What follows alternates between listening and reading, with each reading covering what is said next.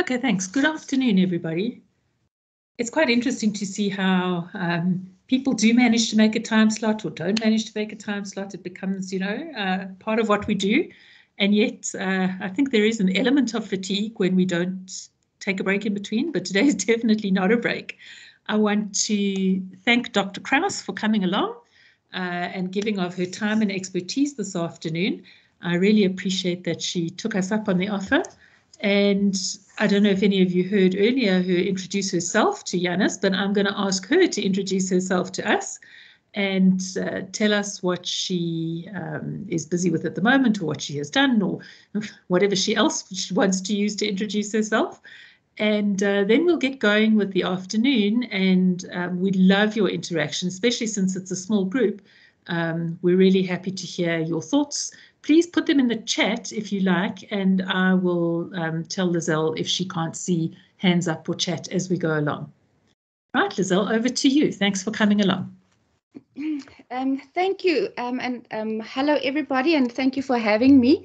Um, yeah, uh, to say that I'm an expert in this um, is is is not true, but you know, um, if we don't grab opportunities to learn more, we will never we will never get to that.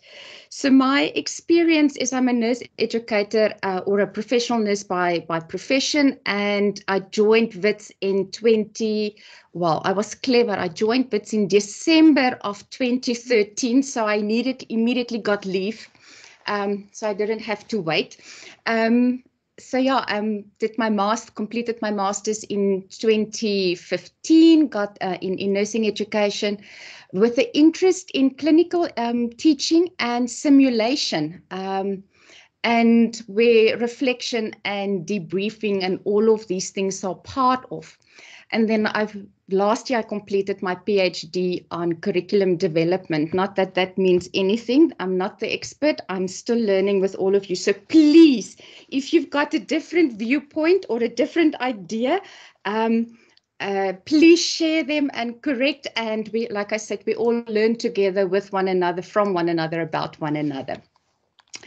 Um, so that's me in a nutshell. Um, I am going to share my presentation. And like I said earlier, this is one of the things that I'm not very good at in uh, uh, doing presentations with uh, PowerPoint.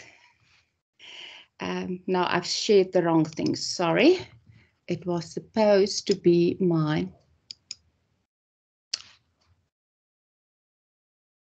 let me just open that. There we go. Sorry about that. Uh, there we go. Can you see the, the PowerPoint presentation? Not yet, but we'll wait a little.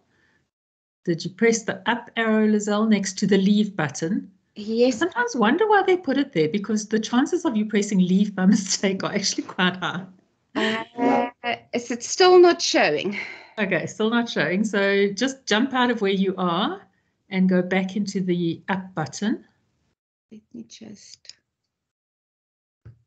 Okay, let's go back in there. I want to share my window and I want to share my PowerPoint where it should be showing now. Okay, yes, we're with you now. It is showing. Oh, yay. okay, so um, today we are going to talk about debriefing versus reflection in interprofessional education, but more importantly, how to assess, especially the affective domain through reflection. And you might wonder why I shared that one article with you. Um, I thought it was very interesting how they um, show the differences uh, between debriefing and reflection, because we sometimes think it's the same thing, but in actual fact, there is some slight differences um, to it. So I'm not going to refer um, to the article specifically, but I think it gives you a good background um, into understanding our topic of today. So, interprofessional education, we all know, that basically we are doing these uh, uh, activities for students to get opportunities to learn um, together from one another, about one another, um, with one another, but ultimately to gain the competencies um, that is listed on the on the screen. And working collaboratively to achieve the best outcomes for patients and um, for the organizations. But the question still remain is how do we know that the students actually learn and achieve these competencies and meeting the learning objectives that we've set for them um, through these activities, um, interprofessional activities.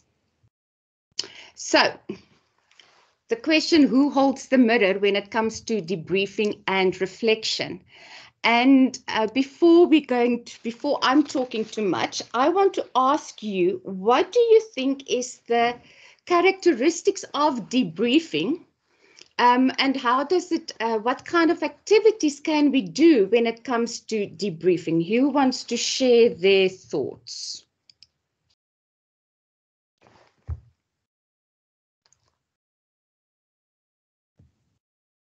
Okay, everyone's terrified of saying anything. So, yay, Anastasia, go ahead. Um, so my thoughts, um, Lizelle, thank you so much for this. Um, these are two activities that I think I do, but I'm really curious to know, you know, what um, essentially these um, mean.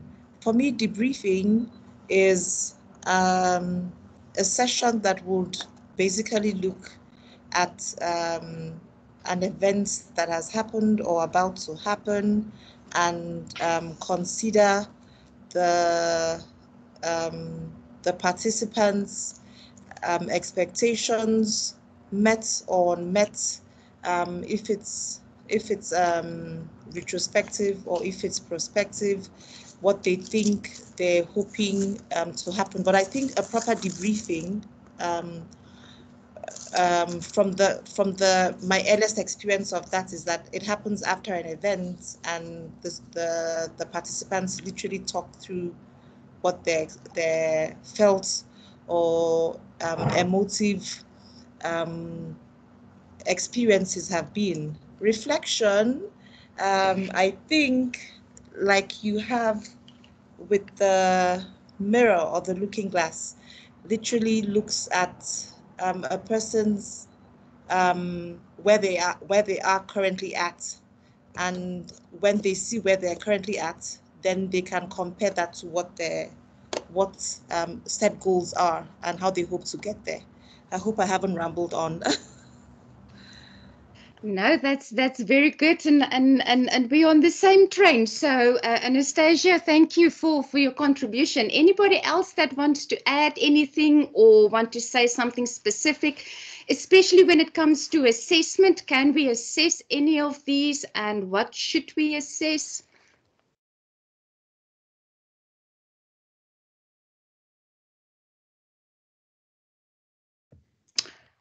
We're also happy to hear if you don't think there's a difference between them and if you've never thought about anything else around them.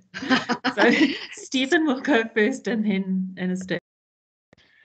Thanks, Shira. Um, we do use uh, reflection in our assessment quite a bit. Um, and this is because we we're trying to move away from um, exam and test-based um, assessment um, and work on get, getting students to compile ev evidence of their learning um, across um, the duration of a course. Um, and a key part of this is not just what they have learned, but um, how their learning has changed um, and what um, the content has done to shift the way that they think about things. and part of that is experiential.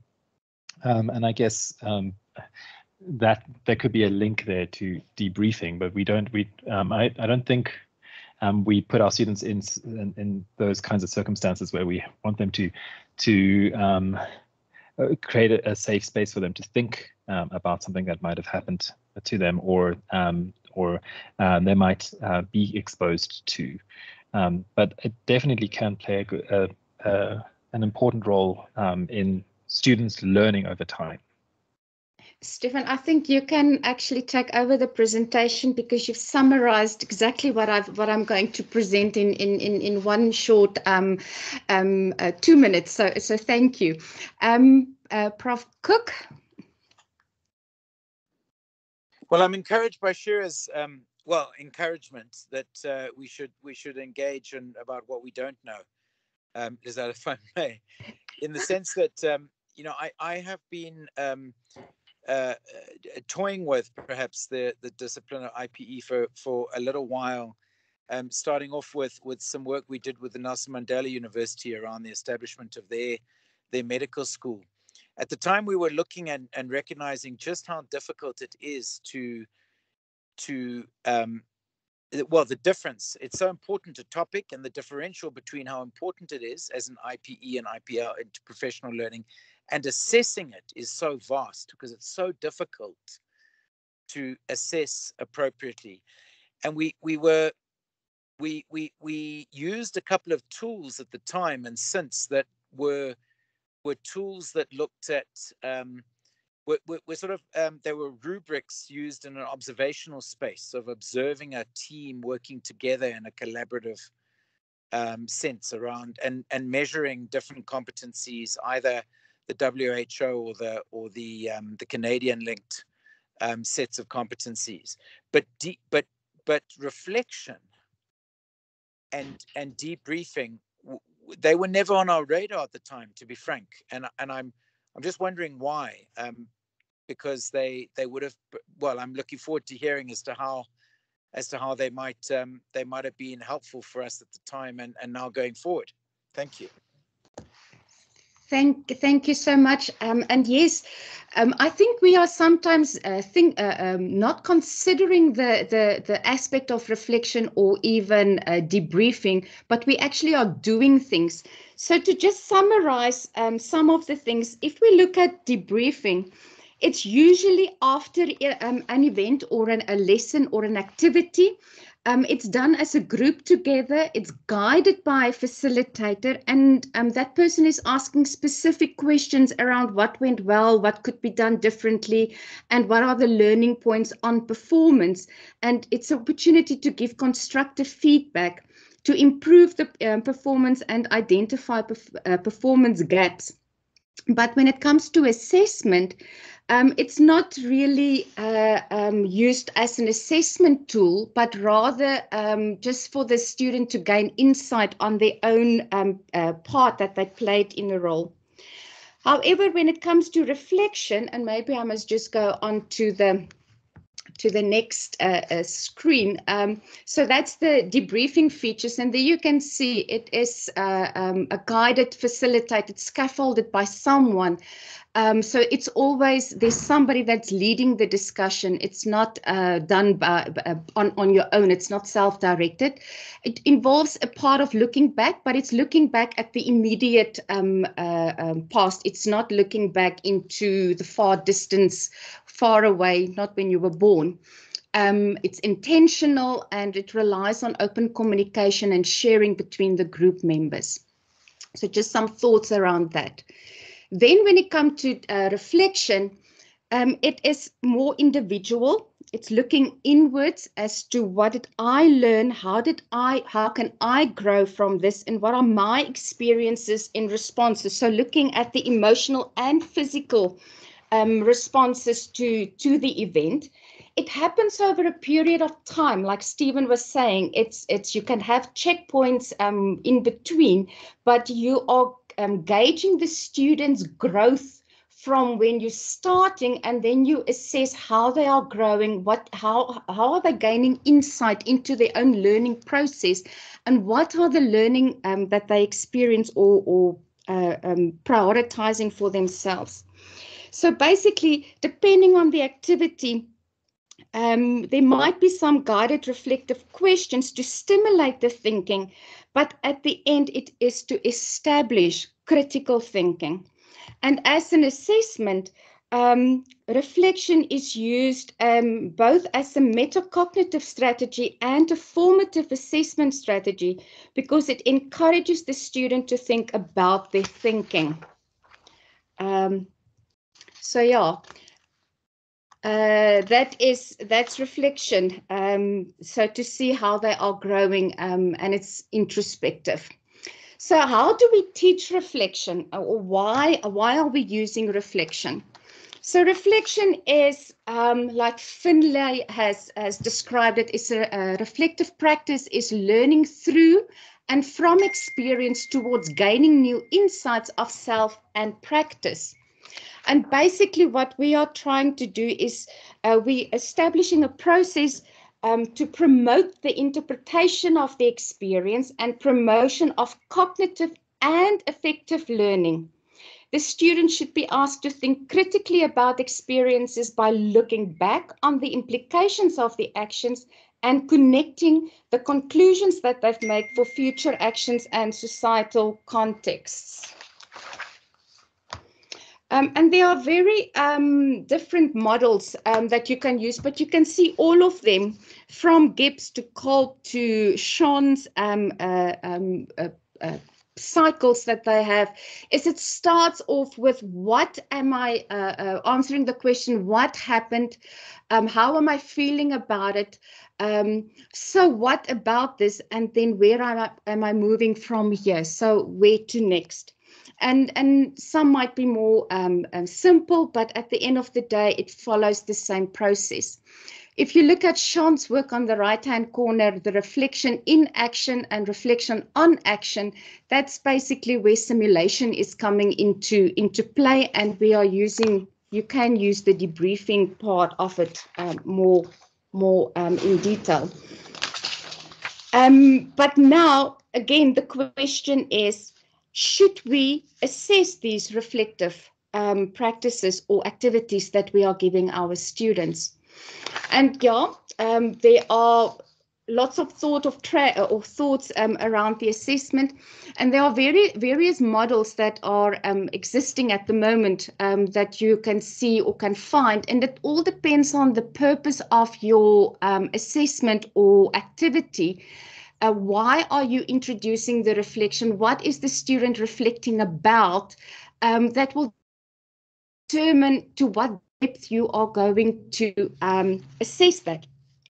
So most of them are using a scale. Oh, and I do apologize for my dogs in the background. They're enjoying my, my voice. Um, so um, Hannon um, um, or Hatton and Smith, what I like about their basic uh, uh, description or a model for assessing is the, uh, the distinguishing that they make between what is just a description of an event um, but it does and, and reflection about the, the event. So when we are bringing in reflection, then we are giving reasons for or the emotion or why we think we experience it in a certain way. Um, so that was just um, for me uh, an important thing to to highlight for you uh, under the first one. Ash and Clayton are giving you assessment criteria. So you can actually then use a, um, design a rubric. But important enough to, to note here is that if you are you, um, choosing your assessment criteria, it has to be fit for purpose. Um, if you are doing um, a, a, reflective essay for you want to see how they are, what is the emotions and what did they experience, will the way they spell or the spelling of the words is that going to be uh, uh, important to assess or is it more about the emotion? And um, uh, can you uh, derive other insights from the essay and how they write it? Um, should the mechanics then be be a priority or not? So that is just important to to look when you are using um, assessment criteria and a rubric for for your assessment. You can assess on, on professional development. Um, and it's basically, again, uh, um, uh, starting with um, do I just give a report about what happened? Do I bring my own experience and my own values into this? Um, do I, um, uh, or am I going to say that this is, I'm committed to reflect and really think and do introspection as to what is my role in this? Or am I just going to, um, give a, a, broad, a brief overview with some emotion, but not really depth to it. And then a pragmatic approach, this is where we get to a bit more stages. So it's breaking down the, the effects or the, the challenges. So now it's giving you um, a few more uh, uh, options um, to, to use. So describing the event, uh, repeating details without offering any interpretation, up to involves judgment. And this is where your debriefing comes in. And maybe you can ask them to debrief first and then go and write the, the um, uh, reflective essay or journal entry. What went well or didn't go well? Why did it happen? Why did you feel about this? And then finally, if they can say how they can change their behavior in future to have a different experience and give some justification to it, then they can get the top mark for this. What we want to produce uh, or show to you today is, uh, is, is one of the um, assessment uh, tools that we've been exposed to at one of the SAHI conferences in 2019 where the Griffith University have developed an affective learning scale and they start off to say that um, uh, affective learning um, is all about the development of values, attitudes through the recognition of the emotional responses to the learning experience. And they are able to examine their own value systems and develop worldviews that are aligned to, to healthcare. So that's what we expect from our students. So not only do they need the, the knowledge about the profession, um, so that they can um, evaluate and and um, uh, uh, attach some understanding to it, but they also need to understand how do they as a person feel about it and how does it align with their own value system in life. They've used the Krathwohl's levels of affective learning and I'm sure you've all are familiar with with with this um, levels: the receiving, the responding, valuing, organizing, and characterizing. Um, and I'm going to pause a little bit here and come back to you and and ask you to say. Um, what do you think is is is uh, attached to receiving, responding, valuing, organizing, and characterizing before I share the scale with you? Who wants to to say what what do you think students should um, present or evidence should they provide if to say that they they are at the basic level of receiving?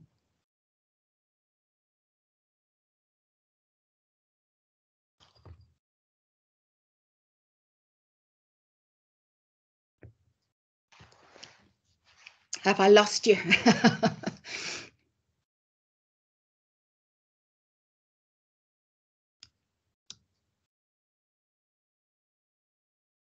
Hello? Hi, Lizelle. Let me just throw my thoughts and um, I'm, I'm just going to um, reference this, the previous slide that you had shown, um, you know, with the assessments and, and, and say that my thoughts will be that looking at your different levels for the um, Krathwohl's, receiving will be on a grade E or F. So that's a student who just repeats their experience, um, repeats um, possibly what they've been through, and they haven't really given a very nice description um, or offered any interpretation in terms of how um, passing through that event or the event um, has has affected them and improved them or depleted them.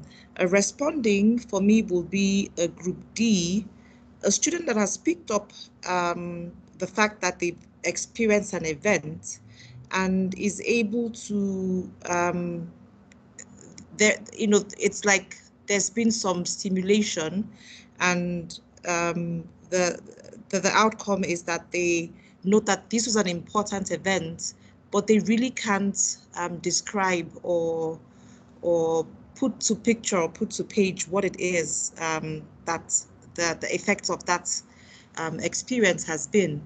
And then valuing for me will be your grade C, that they recognize how it affects their feelings, they've received, they, they, they're able to um, put a value to the fact that um, their attitudes or their beliefs and um, the things they've just passed through or um, if it's if it's an action that they're passing through, they're able to say, this is how it's affected me, um, and this is how my belief um, has been affected by this experience.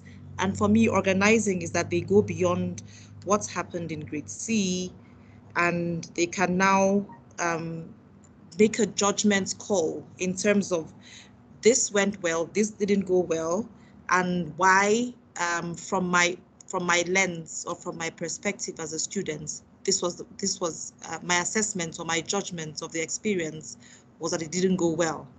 And I guess um, the highest grade, the characterizing will now be your grade A, that they you know go through every they experience the events, they can confirm that there's a change to their attitude, to their beliefs, or to their feelings, and they are able to um, um, project this to the future and say, um, hopefully, with what I've just gone through, um, this is how or this is what my expectations are, and I, and they can give an explanation. And you know, um, I guess like you've mentioned in grade A, reference um, other articles or reference other sources. My thoughts. Thank you.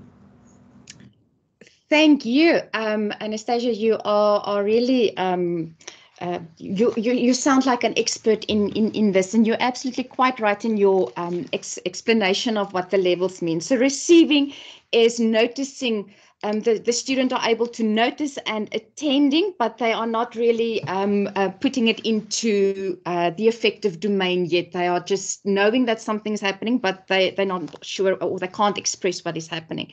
Responding is becoming aware of their own emotional responses to the learning and that is the first step into the affective learning.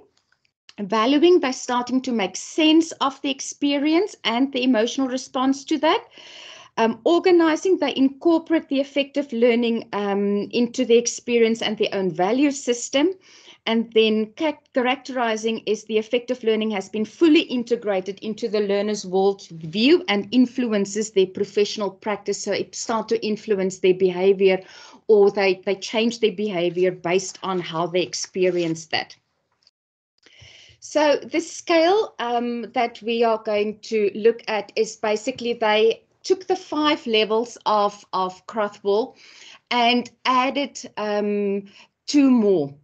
So that when they give students a, a, a, journal entry or they ask the students to keep a journal entry, they um, and and reflect on their experiences or their learning experiences. And it's basically what they the the research that they've done in validating this scale they send students into the clinical practice and ask them to come uh, to make entries um, at certain points in the in the during the time um, that they are doing the clinical training. So it can be a simulation um, um experience, it can be a, a, ward experience, it can be a community setting experience, but they need to keep um, track and, and keep their diary uh, journal entries that they make. And at certain points, the, the lecturers would then um, read the the journal entries and they make judgments based on on Krathwohl's levels. So basically one is is going to no affective learning. So they there's no evidence of reflection. It's basically just a description of an event.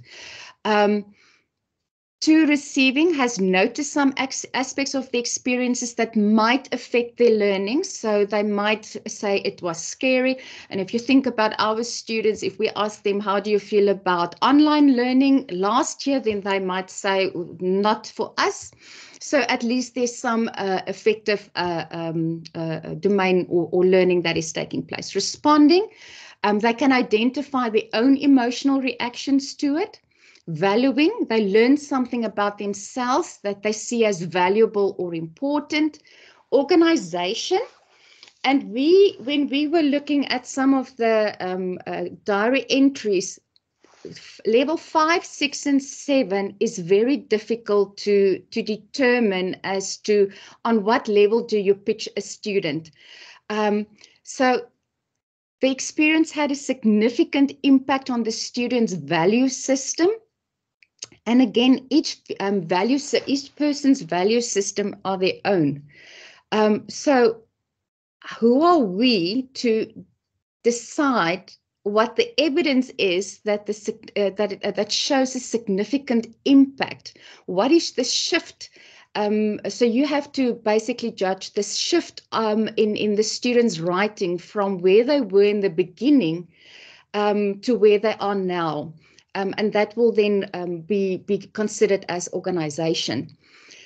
If a student is between organization characterization, then they, they can start seeing that there is a possibility of um, specific aspects that should change but they they they've just identified that it should change they haven't done anything to actually make the change or change the behavior and when it gets to the characterization is that they can show evidence that uh, convince you that they've actually uh, changed their professional behavior by showing or giving examples of what they've done differently so that's me. Um, before we, we, we end off or go on to the next session, before I hand over to Shira, is there any questions, concerns, um, comments um, up to this point?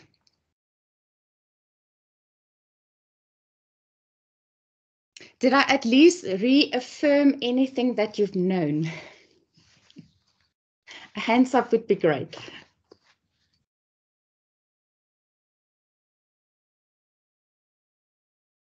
Okay, thank you, Nabila. So what we are going to do now is, um, and Shira, I'm going to hand over to you, is that we are going to try and uh, implement some of these uh, scales on, on some of the, the reflections. So um, Shira, I'm going to hand over to you. Okay, perfect. Thanks, Lizelle. Um, I was worried that we'd be too big a group and that we'd need to um, divide up. But what I think we'll do is we'll just do a couple of examples together. And what I'd really like is if people who have not seen the Griffith scale before um, could could start giving us their opinions uh, depending on what it is that we see. So Lizelle, I'm going to ask if I can share the screen. Yes. Okay. Um, we've got some reflections which were uh, um, requested from uh, students and they've all been anonymized. So you can't see who they were. But the situation was the students' first day in the ward. Um, and then they had to write a reflection on what it was that they saw and felt and thought about. So let's first look at the reflection. Uh, and then what I'd like you to do is to think if you were going to score this on the Griffith scale, um, and I think what we might have to do is jump back to that scale, Lizelle, then um, where would you put it? So I'm gonna, you can leave the, the, the, the, there are two different ones. So it says we began the day's activities with a deviation, which was quite uplifting. Short orientation, we began feeding patients, which I found really interesting because it gave me a chance to get to know. And then the second paragraph was, the highlight of my day came when the unit manager asked us to spy on the permanent staff. okay, she allowed us to interview the patients and find out if they're happy about the way the nurses are treating them on a daily basis. Honestly, our aim was to get them to snitch on the permanent staff members. So that, so that what needs to be corrected can be corrected in order to ensure the patients are satisfied. Hilarious as that might sound, it offered us the platform to engage with patients on a personal level and make an effort to resolve various problems or at least direct them to those who can. Okay, so you've seen the situation. Um, maybe make some notes for yourself uh, about what actually happened. They came on the ward and they interacted with patients and Did she give an example of how she felt and what she thought?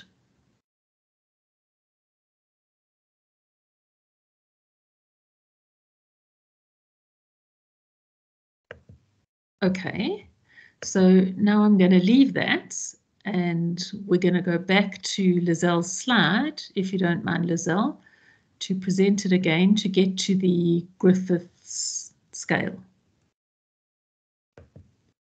Okay, just go back one. Uh, okay. So here comes the fun part. I want someone who's never seen the, the Griffith scale before. So they're seeing this for the first time. Um, to tell me where they would place this kind of work.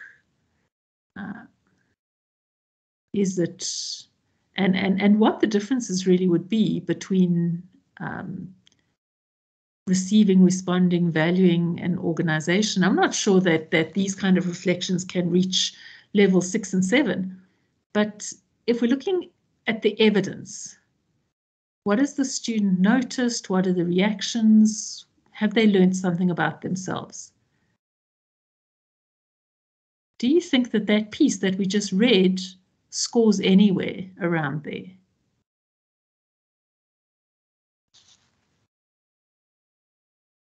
And this is the difference between classroom teaching and teaching online. People can hide behind their screens. that is so true. Or they're busy with something else. oh no, no, couldn't possibly be. um, it's a nice opportunity, guys, because the first one is this, not this. So the first one we're talking about first is that there were two there, just to clarify. Correct, Shira? Yes. Sorry, forgive me. Okay. Yes. So the, the first paragraph was about when they came on the wards and they fed the patients. Yeah, so Stephen's saying he thinks the first one is receiving and the second one could be responding, but question mark. And we'll talk about that question mark shortly. Who else wants to jump in? Aviva, I know that feeling answering the door. So what we're looking at is we're looking at the um, at the scale again now, having read the example. Okay, two or three. Yandisa, tell us what you're thinking. Or was that hitting the microphone by mistake? I think it was hitting it by mistake. No, I'm actually looking at this whole thing and I, and I was a bit late for the meeting but I'm doing a master's and they keep on asking us to reflect on things and I always feel like I don't know what they want from me. So I feel ah. like I need to start ah. this recording and actually figure out what they want from me. so this is for me more learning than it is about the students. But that's brilliant. That's exactly what we're wanting. Self-reflection as well as student reflection. So it's useful to look at a grade where where reflection is um, differentiated. It's not just this touchy-feely, I thought this and I felt that. And using a, a, scale can help to differentiate where students pitch. But what you can see through the discussion in the chat, thanks for the replies, Nabila and Anastasia. But interesting, Stephen would give it um, receiving or responding, so that's two or three. Um, Nabila also is two or three. Anastasia says a three or a four. Okay, the, for sure you don't, you're not seeing six and seven. But uh, Lizelle was telling me when, when they went to the workshop and they were dealing with several of these examples, the fight comes between what it is that you actually categorize in each level. So is it three or is it four? Um, and what makes something a five? Yeah. Yeah. So, so Prof. Cook is saying maybe it's valuing, and and it is valuing, you know, in a sense, because what she was saying was, uh, it it might have sounded funny that we had to ask the patients to to tell on the nurses, but the point about it was good because we were um, trying to make the system better the truth of it is um, that's not an example that, that I would have given. Certainly not a learning objective that I learning event that I would have had students do, precisely because of this idea that that you're going behind the system. So complaining to somebody else about somebody else, there should be things in place for people to know whether their um, approach is valued or not. So yeah, I mean, it's possible to criticize all kinds of exercises before you get to them. Yeah, so she did have reactions, or uh, she was, I think, being altruistic for the system. You know, um, she wanted the system to work better, not necessarily about her own learning. And there, I mean, there are lots of experiences of this. So, so I mean, to go back to Yandisa's point, if somebody asks you for a, a reflection um, with regard to even your work, then having categories like this can make a difference in deciding at what level you're giving them the reflection. Um, and I loved Lizelle's slide earlier is, is uh, what is it about the mirror that, that you want the person to see? Um, are they are they just coming back? So when we ask our students in, in the GEMP program, for example, for that reflection, there's a huge rubric which all a student has to do is follow the rubric and they'll be reaching what the marking scale is. And yet, if you actually analyze the work, some of them are not reaching um, levels of reflection at all. And if we tie it back to the whole IPE story, is that if students are reflecting, what we want them to reflect on specifically uh, is their communication, interaction, and learning experience with and from other students. So, would this be a way of evaluating how good the IPE was, in other words, in, in whatever experience they'd been in? Could we use a scale like this to, to score, as it were, IPE? That was a serious question, not just me monologuing. if if I can come in, um, I like the the question of should we use uh, or can we use a scale like this for for IPE, and I think um, the overall evaluation can be um, more on yes i learned something something uh, but the student would write to uh, have to write a reflection on on what they've learned and how does it impact their their their, their or how would they change their behavior? Because if we think about when we are, are asking students to reflect what went well what went uh, what what didn't go so well what should we change or give us a wow moment they might just give us what we want to hear, but there's no real thought process and, and, and no internalization of, of, of the, the experience. And, and maybe that's what's missing in, in how we assess. Um, yeah, that's my thought. So I don't think uh, um, a quick assessment or a quick writing of, of the experience of an IPE uh, will do it justice um, to see if they've they they they learned anything from the experience or gained anything from the experience. Thanks, Lizelle. Prof. Cook. Yeah, I appreciate the question because this was what I was reflecting on with when when Lizelle um, first posed the question as to uh, around debriefing and reflection, and I I just I'm wondering if so if we look at the, the specific competencies that have been ad- identified in the in the literature around, about the about interprofessional learning and, and the space between us where where teamwork and collaboration um, value in terms of the roles and understanding of the different roles, the communication, whether that can't correlate in some way with a some of these higher levels on this particular scale. Because if we're just responding to what we see before us, as opposed to organizing or characterizing or even identifying the value add in that setting, then that's going to be quite, I think that I, I, I suggest that's going to be quite a good good way to, to that this this assessment tool might be a good way to see if they've got those that some of that complexity around the IPE, the interprofessional or interprofessional learning. Um, am I am I on the right track, Shira? Yes, so that's exactly what we're trying to say, um, and and it's I think one of the reasons why uh, we or all of our assessments are really crafted for what's under the lamppost. It's what's easy, what we can see, what we can measure. Um, and when it comes to something that we say is desirable, but that isn't assessed, immediately the message that goes to students is, well, they say it's desirable, but they're not assessing it, so how important can it really be? And I do think we need to have these kinds of exercises where students become aware that there are ways to actually um, uh, subjectively judge whether a student has engaged with the dimension of the exercise that we've given not just themselves, but exactly in relation to others. But I like what Aviva has to say. If you can't see the chat, some of you, she says students give you what you want to hear very often. I know that. And it's difficult for them to be honest about their colleagues and themselves and how they influence and affect each other.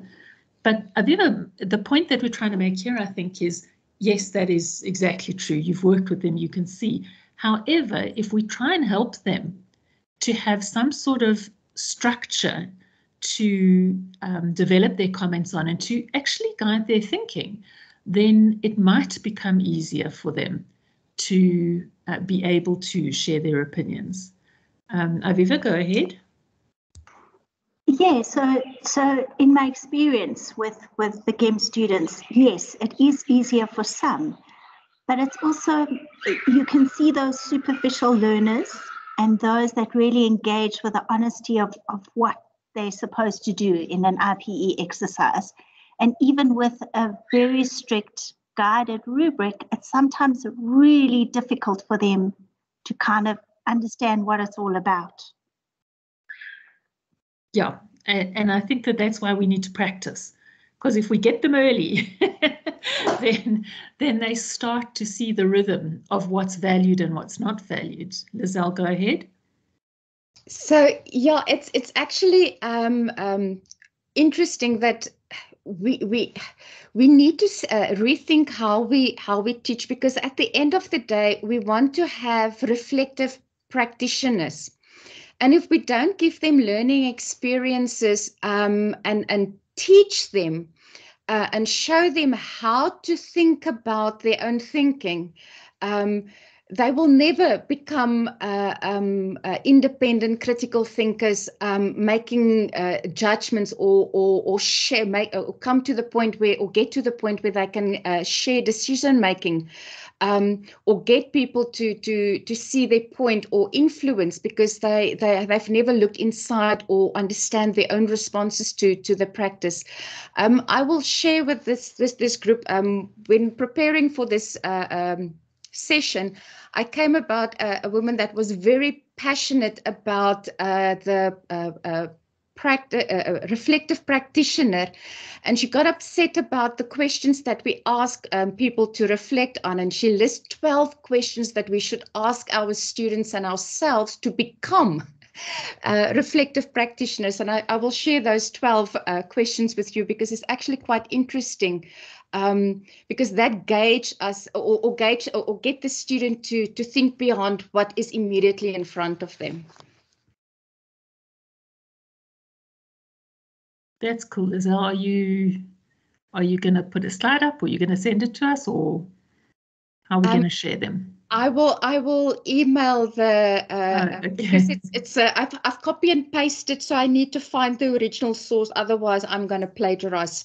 Oh no, that's, that's fine. I think we can send it through to Yanis for uh, the the, for the website. The interns are doing a great job. Yeah. Okay. Um, there are two things that, that I think maybe just for winding up is worth thinking about. Over the last two days, I've watched a couple of Twitter battles happen in, in medical education circles, um, both overseas. Uh, no, one overseas, one here.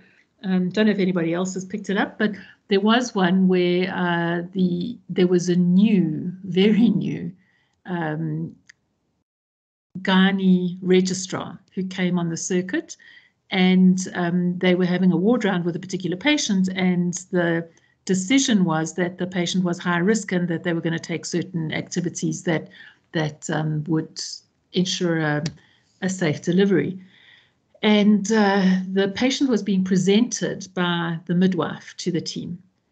And the uh, new student said to her, um, I, I, don't actually agree with you that this is high risk. For this and this and this reason, um, I actually think it's fine, and I don't think you need to take any of those precautions. And that caused an enormous eruption on the airwaves, with a lot of people getting very huffy and saying, baby doctors take on so much of themselves and we're experienced and we're senior and I've been here for 38 years and I know and it's just ridiculous how little respect there is and blah blah. So on the one hand. And then there came a messaging groundswell back. Um, how, how did you expect the new person to present their ideas? Often they're new and they have questions. And in presenting it, is that not the way to learn? And isn't your experience then in guiding them towards um, why you made your decision and letting them expound on why they're thinking the way they're thinking? And isn't their place in a team for all levels of experience and for people to come to consensus? So, so that was the first battle. And I'd love to hear what you think about it because I hear that quite often uh, that that my seniority means that I know better than you do, and that's not, I think, an attitude that that we want to perpetuate, especially not amongst an IPE team. And the second one was, um, I surmise, a gender issue that um, a registrar was told that uh, she came on duty with um, very fancy painted fingernails and rings. And um, she was told it was not appropriate and uh, could she go and do something about it? And the tweet was sent saying i told this um, registrar to go and sort this out. This was the problem and two hours later she's still running around with sparkly jewelry and fantastic fingernails Okay, so so you would think, I mean, if there's a rule, nothing below the elbow, and for infection control purposes and how you're supposed to behave, uh, that's the rule. I mean, and surely you should know that when you come on duty. And this groundswell comes through in support, saying, first of all, is Twitter the place to have this argument? Um, the people involved know who each other are, so it's not actually private. Um, second of all, was there any security? So was there a place she could have put her jewelry? um, once she was told to take it off? And would she spend the time taking off fancy nail varnish if she was so busy in the ward? And third of all, this is um, a male senior doctor coming down on an obvious female um, and that there's a gender issue here. So I'd love to know your opinions on whether you think in an IPE team either of those things um, are well, first of all, how, how they could be handled. And second of all, um, when people write up what it is that they're experiencing, looking at this level of reflection, how could we guide people towards reflecting on what was right about the response and what was incorrect about the response, well, not correct or incorrect, but but how could we guide them towards a a, a better resolution in terms of um, working collegially? I'd just love to hear some of your take on that because I know those are situations that you kind of have seen before.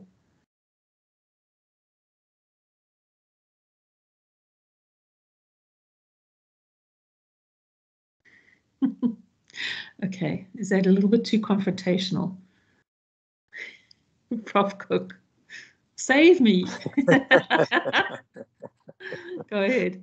Uh, but you know, we need confrontational. Well, we need to disrupt a little bit, uh, and and and get us all to think a little bit. So I'm I'm appreciative of these examples. I uh, the the the of the six um, again the six interprofessional competencies that are sort of you know recognized in the literature. Conflict resolution was added as as more recently than some of the others. Um, to to to, to that list of competencies.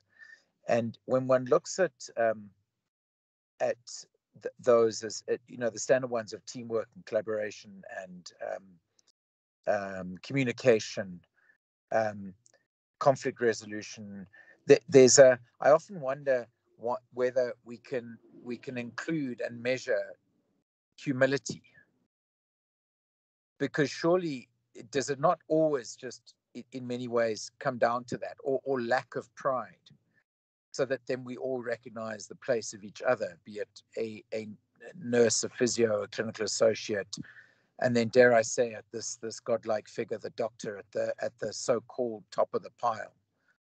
Um, because surely that first example you gave is is made all the more problematic because it's it's a it's a doctor who is advising the the, the midwife and there's a huge backlash because the doctor is the is is uh, is is is pushing the is coming back at the at the midwife and and everyone's reacting to that and quite rightly because that for me so but not to go into the merits of of, of it it's just that that I agree that Twitter was never the space because that's not the when it comes to conflict resolution, that's never the space that that should be engaged in, um, or not never the ideal space um, for for people to come to come to a common understanding. But to get back to the point where is it not the humility that we have to be assessing somehow, or the mutual respect that we have to be assessing somehow, and how does one do that? amongst all of these quite abstract, other, otherwise abstract interprofessional um, competencies. It's a it's a it's a fraught with difficulty. But I'm glad that people on this call are just going to come up with exactly what the answer is, and that we go forward from there. That's a real thanks, everybody, isn't it? yeah, I I think that you you have a good point. That necessarily we look at the dissonance where people are rubbing up against each other and what is the the the, the sore point. And I, I do think it's important to be able to not confront them, but to evaluate them in different ways. And and some of the, I mean, we've just been looking at the Griffith scale now, but some of the others that um, Lizelle gave us a little bit earlier on in the slides um, are designed to look at these types of interactions and to have people debate on both sides because there's surely good points on both sides and and the way to deal with it or what the why it turned into an ugly conflict um, and and how one could uh, mitigate against that and work against it and and obviously with the idea of good patient care at the end of it. So whichever it is whatever the situation is ultimately our goal for everybody is that that they should have um, better patient care than what I could do by myself. Um, and that would be the, the mantra of the IPE team. So thanks, Lizelle. I see you've posted a whole lot of stuff in the chat, which will be really useful for everybody. Um, so at this juncture, I'd really like to thank you for all the energy and effort you put into not only preparing for this presentation and being willing to share it with us, um, but in, in all the work you're doing in the faculty at the moment, it's really appreciated. And I'd like to wish everybody a good afternoon. And this is my one opportunity to um, advertise that we are having a faculty focused teaching and learning day tomorrow, which hopefully you'll find an invitation to through um, Antonia in the faculty news. And we have um, extra special guest speaker at 3.30 tomorrow afternoon, and she's talking about justice um, and social justice, particularly um, in using medical education to achieve that, or health science education as a whole. So you're all very welcome for some or for all. Um, and yeah, please come along. Thanks for a good afternoon, everyone. We're done here. Just quickly, sure, if I may, is the AfriPen conference coming up, the online conference, just a flag for colleagues? Are you are, are, are you aware of that or, or involved? Yes, yeah, no, absolutely. Yeah. So so our university is an institutional member of AfriPen. Mm. And um, yeah, uh, th that is something that is definitely worthwhile. Thank you. Yeah, just a flag for colleagues. Yeah. Great. But sure, thank you very much. Until Azar, wonderful. Great. And I see, Yanis, you're advertising next week already. Yeah, sorry. I also just want to draw people's attention to next week as well.